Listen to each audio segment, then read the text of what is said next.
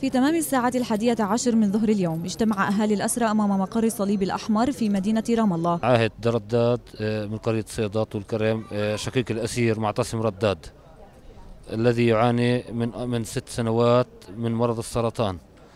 آه، معتصم اعتقل طبعا خلينا نحكي عن اعتقاله معتصم اعتقل في 2006 12 1 2006 آه، معتصم بدا بدا يعاني بدا يعاني من 2008 أو أو 2008 في في المرض.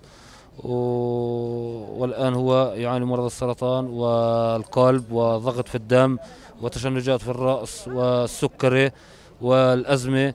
وكل هذه الأمراض موجوده في معتصم ومعتصم الآن هو في حالة الخطر. مكث في سجن مستشفى الرملي بما يسمى سجن مستشفى الرملي أربع سنوات تحت العلاج والتجارب علاج التجارب ولكن كشف كشف معتصم عن عن نية مبيتة لقتله فقرر الخروج من هذه المستشفى إلى إلى سجون أخرى حتى حتى حتى يتوفاه الله بين إخوانه.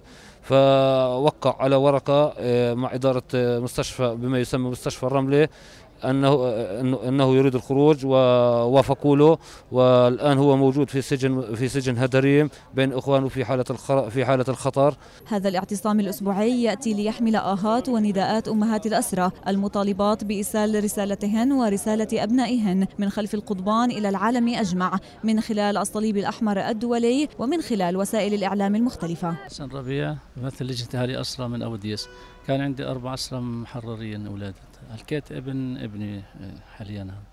فكان عندنا مسيرة في أبو ديس يوم الجمعة 19 أربعة مسيرة سلمية طبعا.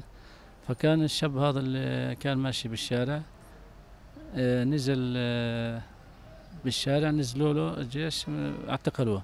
بعد ما اعتقلوه حطوه بالجيب. بعد ما كان بالجيب نزلوه عملوه درع بشري أمام المظاهرة. وحاليا معتقل في سجن عوفر. أنا أم أسير أسير ناجي عرار في سجن رمون من كراوة بن زيد محكوم 18 عام. قضى منها اثنين خمسة يكمل ست سنين. من أربع سنين صار عنده عنده ورم. والورم هذا أخذوه على سجن الرملة وأخذوا منه عينة. حكوا له بدنا نعمل لك عملية. وهسه من أربع سنين وإحنا نطارد ما خلينا لا مؤسسة ولا حقوق إنسان ولا صليب. ودعينا الرئيس أبو مازن يتدخلوا في العملية يعملوا له إياها. بعد عناء شديد يعني ما خلينا إلا أحكينا. حكوا يعطوه موعد من توب من هين لآخر أربعة يكون عامل العملية امبارح بتفاجأ رحت أزور امبارح مركن إنه عامل العملية يعني مرتاح. رحت بسأل فيه بقول شو صار معك؟ بقول لي ولا حدا فات علي ولا حدا شافني. وأنا زي ما أنت شايفتيني.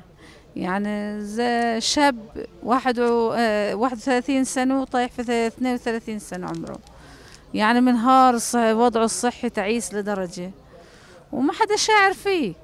خاصة في ظل تصاعد وتيرة الانتهاكات التي تمارس بحق الأسرى في الآونة الأخيرة والمرضى منهم بشكل خاص. ما بين دموع الأمهات وحسرات الآباء تقف الكلمات عاجزة عن التعبير، ففي هذا المعتقل فلذة كبد ينتظر الموت بين رفاقه، وفي تلك الزنزانة أخ وولد وحفيد وأب يصارع المرض على أمل لقاء وفرج قريب.